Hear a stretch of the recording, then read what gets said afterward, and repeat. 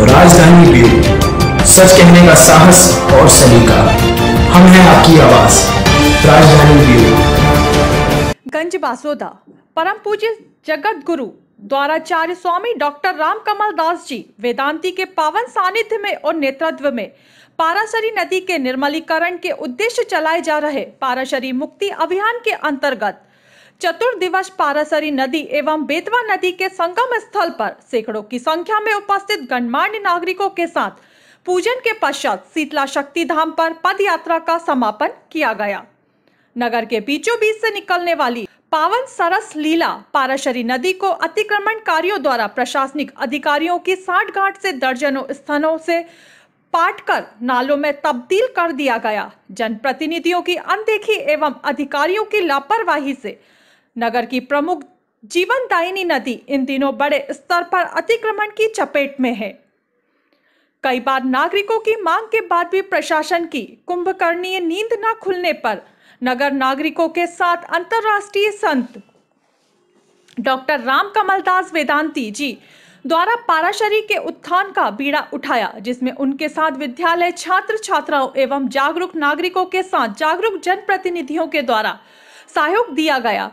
स्वामी doctor Ram कमल दास वेदांती जी के द्वारा कई किलोमीटर की पारासरी नदी की परिक्रमा की गई। जनप्रतिनिधियों के खुलकर सहयोग न करने पर नगर में चर्चा का विषय बना रहा। समापन अवसर पर साधु संतों के साथ वरिष्ठ पत्रकार अनिल यादव, युवा नेता रोहित भावसार, जनपद अध्यक्ष अंजलि यादव, मुकेश रघुवंशी, सुनील बाबू पिंगल, गणेश राम रघुवंशी भाजपा नेत्री शशि यादव लायंस क्लब की विनीता गोयल, सुरेश तनवानी, शैलेंद्र सक्सेना, प्रकाश जैन सहित सैकड़ों की संख्या में नागरिक उपस्थित रहे।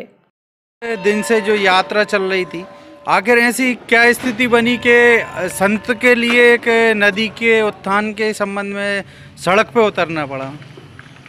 वस्तुतः ये पारासरी नदी पौराणिक अत्यंत प्राचीन नदी है जो महर्षि पराशर की करुणा से उद्भूत चक्के नौदा से चल करके और ये आगे चल करके जो गाँव है कौन सा हाँ? बिस्कावली और, और आगे चल करके जो आज गए थे जुगियाई। जुगियाई। में जा करके ये बेतवती में मिल जाती है।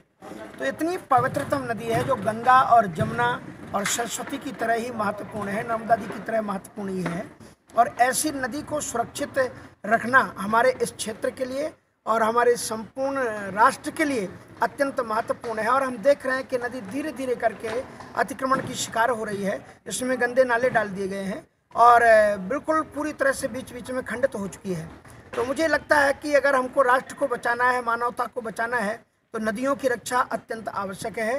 और ये पुण्य सलराज का पानी भी अपने आप में वैज्ञानिक दृष्टि से भी कुछ अलग महत्व रखता है, पावनता रखता है। तो इन कई दृष्टियों से इस नदी की रक्षा करने से हम प्राणियों की रक्षा कर सकेंगे और हम अपनी रक्षा कर सकेंगे और संपूर्ण क्षेत्र को भी हम प्रवाहशील रख सकेंगे। इसलिए इस नदी का सुरक्षित होना बहुत आवश्यक है और इसी दृष्टिकोण को जीवन में रख करके हमने ये चार चतुर्दिवसीय यात्रा निकाली है। और हमारे काफ़ी लोगों ने इसका साथ दिया। उन सभी के लिए बहुत बहुत साधुवाद है और मुझे लगता है कि हम सफलता को प्राप्त करेंगे। आपके अनुयायी बासुदा से लेकर विदेशों तक हैं। लेकिन ये पवित्र काम में यहाँ के जनप्रतिनिधियों की अनदेखी या उनके लिए एक दिन भी आपके साथ नहीं होना और इतनी कम भीड़ होना इसके पीछे कारण क्या मानेंगे आप? मैं समझता हूँ कि मैं अपने लक्ष्य को लेकर के चल रहा हूँ और लोग प्रारंभ में उसके महत्व को नहीं समझ पाते हैं। और जब वो उनका खुद ही इससे वास्ता वो इस बात को नहीं जान पा रहे हैं कि हर एक व्यक्ति नदी से जुड़ा हुआ है, चाहे वो इसका अनदेखी अगर वो कर रहे हैं तो अपने कर्तव्य से विमुख हो रहे हैं। वस्तुतः राष्ट्र धर्म का निर्वहन वो लोग नहीं कर रहे हैं, इसलिए अनदेखा तो इस महत्वपूर्ण विषय को किसी को नहीं करना चाहिए। जो लोग नहीं आ सके हैं, उनके जो भी प्रतिबद्धताएँ रही हों, जो भी कारण रहे हों, लेकिन उन्हें प्रयास करना चाहिए था कि यदि संतों ने इस बीड़ा को उठाया है तो दो कदम वो हमारे साथ में भी चलते तो इस लक्ष्य के लिए एक और भी मजबूती मिलती और एक आश्वासन मिलता।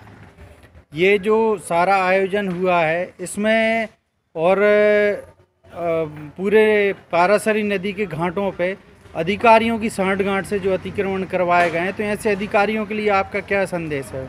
मैं तो यही कहना चाहूँगा कि हमें राष्ट्रभक्त बनना चाहिए और राष्ट्रभक्त को किसी भी प्रकार से बिकना नहीं चाहिए। हमारी इन नदियों को बचाना हमारे पूर्वजों की धरोहर को बचाना है ऋषि मुनियों की परंपरा को अक्षुण्ण रखना है, इसलिए उन्हें किसी भी प्रकार के, इस प्रकार से यदि कोई साठगांठ की गई है, जैसा कि आप बता रहे हैं तो यह हमारे न राष्ट्र के लिए अच्छा है, न समाज के लिए अच्छा है और न उनके खुद के लिए अच्छा है।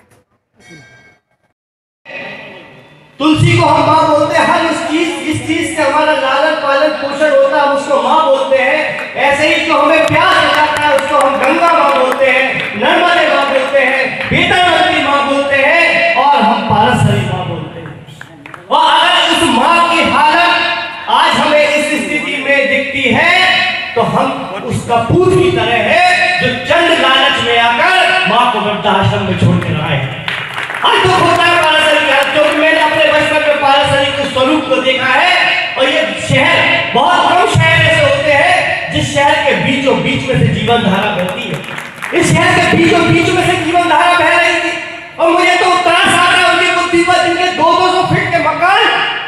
लेकिन नज़र चार फीट की पारासरी गंज बासोदा से लोकेश सक्सेना के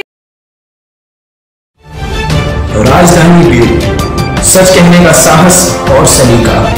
हम हैं आपकी आवाज़। राजधानी ब्यूरो